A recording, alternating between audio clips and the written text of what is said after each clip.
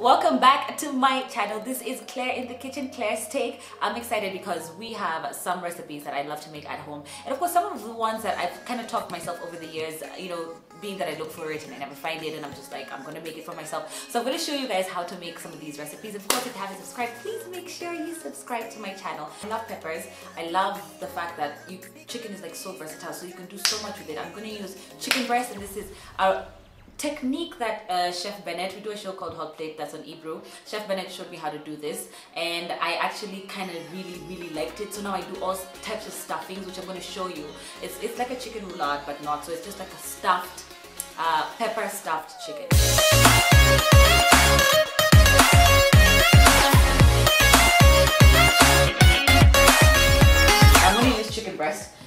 We have here some chicken breasts which I've kind of like butterflied and I've beaten down. And the first thing which I always tell people, you have to season. Seasoning is key. I'm like when you use a piece of chicken, the first thing that you want to do is literally just season it. I'm going to use some um some what is it called? Some salt and some black pepper. Do the same thing. Oh, okay. I had butterflied this, but it's like torn. and I'm gonna put some uh, salt and pepper in in both sides. Just this is very very key all right so a little bit of salt a little bit of pepper. And guess what? I'm going to just add a little bit of uh, my own thing which is just um, some garlic powder. I love love love hold on just if i don't know you guys why does garlic powder always get like this? I hate this. It's like oxygen gets in and that's it. I'm gonna put like honestly cling film on my garlic powder. So i'm just going to rub a little bit of that garlic powder. Spanish paprika here that i'm also going to use i'm just going to rub some spanish paprika on that and just let that sit soak in all those flavors. I love it. I really love to cook with ghee. If you have just sunflower oil it's up to you. You can just use the sunflower oil or the or the you know olive oil. And wait for that to get really really nice and hot. I'm gonna go ahead and toss that in there. And literally I'm, I'm not cooking it. I'm just sort of like just tossing it. I, I, I lot of ghee but that's fine. I just want to toss that up just slightly and that's it. Now the reason I was doing that is because I just wanted to slightly cook it um, just a little bit. I'm gonna add just a, a little bit of pepper on that. That's it. Again you don't have to cook it. I just literally just wanted to cook it very slightly and that brings out the sweetness. Not necessary. You can remove you can put it as is. Now what i have here is i had caramelized some onions and i had cooked some steak with some garlic. So i've minced the onions and the garlic in there. Um, and this is just basically how it looks. I had minced the garlic. And i'm gonna put just a streak. So it's like caramelized sweet onion with with cooked down garlic. That i'm just gonna put a streak of right in the middle there. And then I'm gonna come with my peppers of course and I'm just gonna place them right on there. Now I love peppers. Honestly they smell delicious. They look amazing. Um, I try to try and tend to not overstuff them. Then I'm gonna come with my cheese and I'm gonna place just a good portion of cheese right in there as well all right, now what I'm gonna do is I'm gonna come here and I'm gonna place, now this is collar bacon. Collar bacon, I have cling film at the bottom. We're gonna place the collar bacon right on top of each other. Now, if you are not able to have bacon, you can choose to take, or rather you can take, um, what is it called, beef bacon. Beef bacon works just as well. I'm gonna come here and cut my cling film just to take that off, the excess you want to be gentle with it. Remember mine had had torn. So you know i'm just trying to just move it carefully. Look at that. Right on top of my bacon.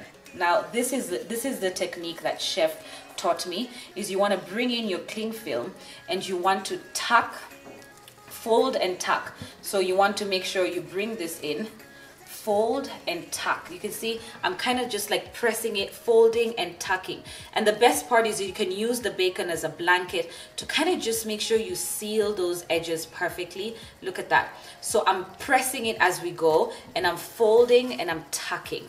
I'm folding and I'm tucking. So as you can see I'm using the cling film to kind of just like and I can drag it closer to me or not. Maybe I should just move with it. And as you can see, I'm folding and tucking. Chef Bennett showed me this technique and I am obsessed with using it, especially for wrapping up my chicken. And you can see I'm kind of on, honestly just getting the bacon in there. There's nothing wrong with get, getting the bacon in there. And you want to continue to fold and tuck fold and tuck and you want to make sure you seal all the content look at how gorgeous that is honestly. Okay now at this point is i'm to try and get it closer to me. I'm just to get it closer to me like that and you can see the chicken is sealed in there. Oh my gosh the bacon has just completely covered it. It looks gorgeous. And at this point is when you get to the end of it you want to make sure that you roll it through completely.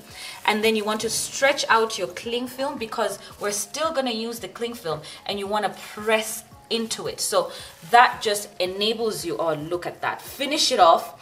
Finish it off completely. See and then make sure you've tucked in your um, your bacon pieces in there covered it with your cling film. On the other side as well I'm to cover it in. And I'm to come here now with the excess um, cling film that we have. And I'm to seal it in there nice and tight lock it up press it through and you have this lovely cylindrical shape there. Okay so check this out guys come here with your cling film and you want to push the content that you have in there way in see that? And you kind of just want to twist it up. And then you want to come in here tuck this in tuck this in completely right? I'm going to tuck it in tuck it in get in there get in there. And you kind of just want to you know do a nice little sausage motion there. Look at that so gorgeous. And then we're going to come back here um, same thing that we've done and you just want to seal it in a little bit more just to make sure we have that lovely lovely uh, chicken locked in there completely. And we're going to continue to roll it up. Roll it up completely until we've sealed it up and we're going to do the exact same motion that we had there. Again grab the ends both of them and just tuck that in there and we're kind of just going to give that a lovely lovely twist see? Oh make sure there's no air. I can see some air getting in there.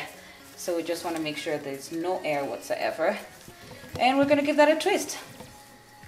Okay we're gonna come here, I have some boiling water. What we're gonna do is we're just gonna dump that straight into the boiling water and let that cook. I love that. All right, keep checking. I'm gonna add some water just to make sure that it's submerged completely and it's cooking through thoroughly. So a little bit of ghee on there. I'm just gonna get one clove of garlic, bring it here. I'm gonna give it a bang, give it a bang with this little thing that we had there. Honestly, all you have to do is just crush it. If you have a knife, it works better with a knife. And I'm gonna come here with my um, veggies that we have there. Our pan is nice and hot. We've got the ghee. Uh, we've got the, just gonna, I love that sound. Again, less ghee is better. Please don't over ghee. We're gonna just season it with some salt, season it with some pepper.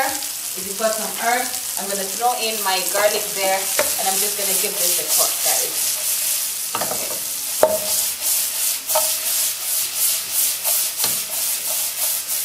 So I'm gonna place this in a lovely, lovely, lovely, uh, just the plate that I'm going to be serving on.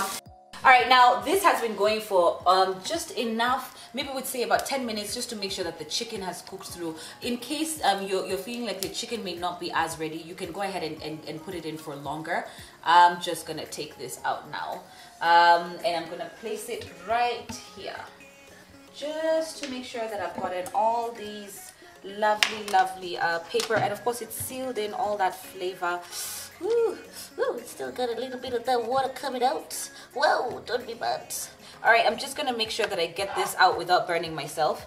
And look at that. So it's almost like you've created the cutest little sausage ever look at how beautiful that is and we still have all the you know the flavors sealed in. You see that little twist i was telling you? It's so important that you do the twist because then that seals.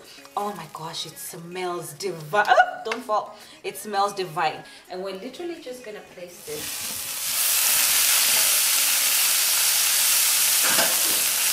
Um, just make sure we get all the sides nice and covered. Fire on high just to sear it and lock in. Now this is bacon, so you want to make sure that you don't put too much grease on it because of the fact that it's got its own grease. As you can see, because of the cooking, it's completely made this cylindrical shape that is just absolutely gorgeous. I'm literally just gonna roll this. Don't do it like me. Um, you just wanna make sure that you get, I cook a lot, so I'll use a little bit flame. Um, and I'm just gonna maybe just cook it on one side just to make sure that I keep twisting and cook that through completely. All right, uh, give that a flip. So you want to make sure you just keep gently turning it. Look at that color on there. Oh yes, you want to get the right color on there. We're going to leave that to rest for a bit and then we're going to cut it open. Moment of truth, we just want to make sure that it's cooked through. So I'm just going to cut it um, just to see. Oh yes, that is cooked through. Look at how beautiful that is. I'm just going to see how many inches I want, maybe about that about a centimeter and a half is what we're looking for. And this is just gonna be look at how gorgeous that is. Absolutely stunning. It looks beautiful. It smells delicious.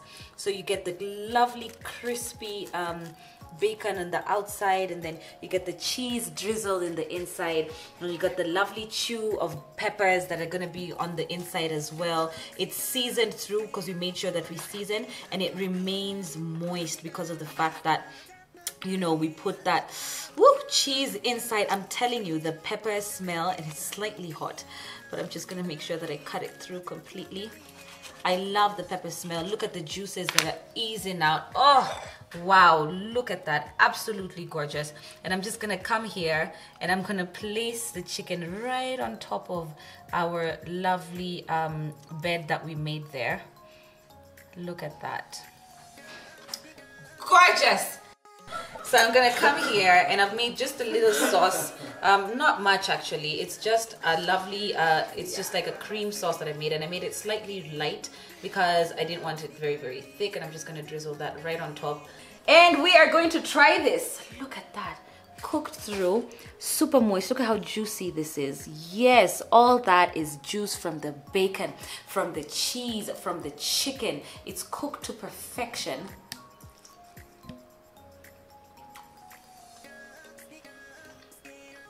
It tastes delicious. I love that. I cannot wait to eat the rest of it. It's seasoned through. I hope you enjoy that. Remember, you can stuff it with absolutely anything you want. I will be showing you more recipes on stuff that I make in my kitchen. Don't forget to subscribe. Bye guys.